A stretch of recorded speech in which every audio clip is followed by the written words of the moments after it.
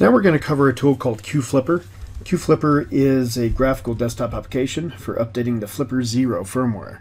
Uh, Flipper Zero is a portable multi-tool for pen testers. Uh, so essentially it will allow you to uh, copy and rebroadcast signals.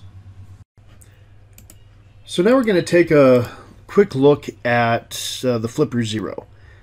So we've actually added within the, the SIGINT hardware programming the QFlipper application. This is the application that can be run on a, PC or computer.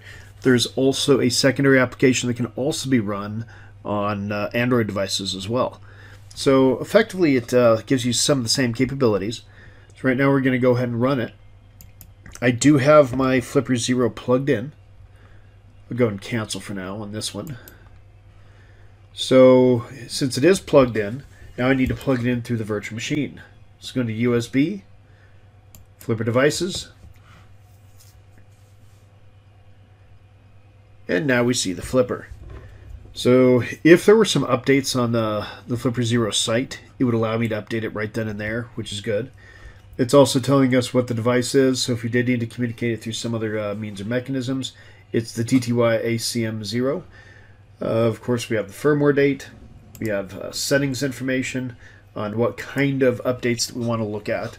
Uh, right now, we're just looking at the release. Uh, you can have release candidates. This is kind of like beta testing. Um, some potential bugs, and development's probably going to have a few more bugs. Then we also have the ability to back up and restore these. So it's always a good idea to back up whatever the firmware is, especially if you do plan on updating anytime soon. So I'm just going to do dash one, making it easier to, um, to memorize. So here, you want to pick directory. Okay, so choose that directory, choose, and now it should be backed up. So it's going to take just a minute. Hit continue. So now we have a basically backup file if we do need to restore it. Then, of course, these are the files on the device. So, for example, with SD card, we do have some in infrared already. So, made a couple copies of some remotes. But all the content that you're looking at that you've been able to uh, uh, essentially record um, is going to be stored in uh, little files uh, that the flipper can uh, um, use. So with that being said, I'm going to go back to here. Let's go and double left click on the screen for Flipper. Now it's giving us access to essentially remote control the device. With the Android application, it's working on Bluetooth, so you can have a little bit uh, bigger distance to play with. Um, this does require, again, the USB-C. Uh, you might be able to, again, hack around that uh, um, through other mechanisms.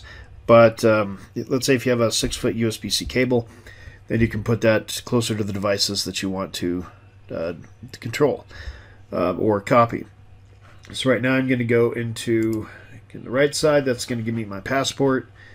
Go back, click on the center button, and then that's going to give you access to all of the uh, the items that are inside the um, capabilities.